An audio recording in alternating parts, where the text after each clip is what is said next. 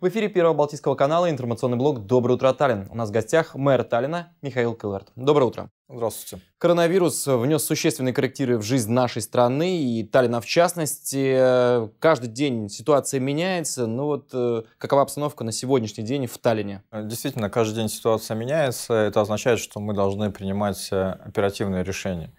А, прежде всего, я повторюсь, э, что Таллин один из немногих местных самоуправлений, решил продолжить обслуживание горожан.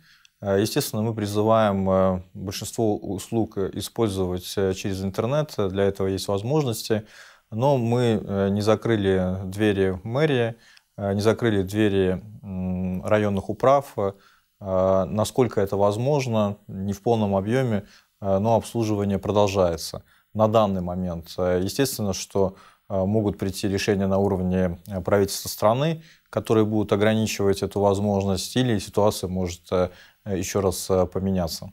Закрыты школы по всей стране, в Таллине, в том числе, соответственно, ну вот для многих школьников, э, которые посещали школы, питание в школьных столовых было единственной возможностью поесть горячую пищу. Вот что с этим вопросом? Да, и как известно, в Таллине бесплатное питание в школах, и многие дети приходили в школу, в том числе и для того, чтобы поесть а, мы учитывали, э, что такая необходимость может возникнуть, поэтому уже в тот момент, когда на прошлой неделе пришло решение э, закрыть все школы, э, мы стали готовить систему, которая позволит обеспечивать детей питанием, прежде всего тех детей, которые в этом остро нуждаются. Это дети из малообеспеченных семей.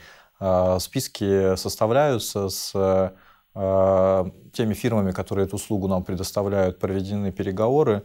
А я надеюсь, что мы в ближайшие э, дни уже сможем запустить эту систему, которая позволит э, детям э, раздавать еду. Школы по интересам родители продолжат оплачивать, ведь сейчас школы закрыты? Этот вопрос у нас тоже поднимался.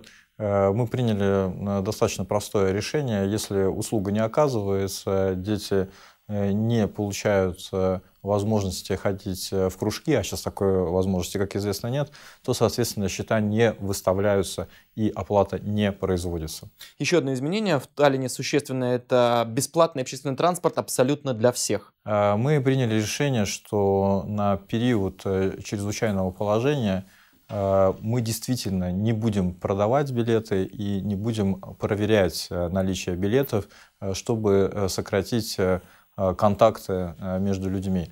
Э, это означает, что действительно транспорт станет бесплатным на определенный период времени для всех.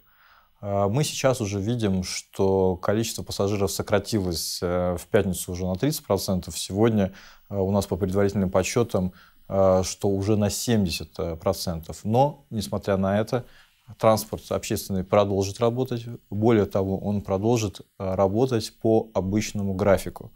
Э, потому что мы не будем сокращать количество автобусов э, до тех пор, пока это возможно, чтобы не создавать толщу на остановках и не увеличивать количество людей в самих автобусах и трамваях. Транспорт будет работать по графику. Еще один вопрос, очень важный вопрос, э, который касается детских садов. Родители не знают, закроются или не закроются. Как быть с той же самой оплатой? А, мы приняли решение, что детские сады должны работать. Да, мы уже сейчас видим, что детей стало значительно меньше в детских садах, родители сами не приводят, и это правильно. Но всегда есть э, э, родители, которые не могут себе этого позволить. Они должны работать, в том числе должны работать те люди, которые обеспечивают жизненно необходимые сферы – особенно в такой ситуации, будь то э, работники полиции, медицинские работники. И поэтому мы решили, что э, детские сады будут открыты. Насколько возможно будет перепрофилирована их деятельность, но в принципе все должны исходить из того, что ребенка в детский сад привести можно. Естественно, если есть возможность ребенка оставить дома, то лучше Э, чтобы он был дома. Если такой возможности нет, э, детские сады работают. Если у нас будут э, появляться случаи заражения, то, как уже это произошло в одном детском саду, были сразу две группы закрыты. То есть реагировать мы будем оперативно. Михаил, спасибо огромное за информацию. Успехов вам. Спасибо. Информационный блок «Доброе утро, Таллин» подошел к своему завершению. Напоминаю, что у нас в гостях был мэр Таллина Михаил Кылвард.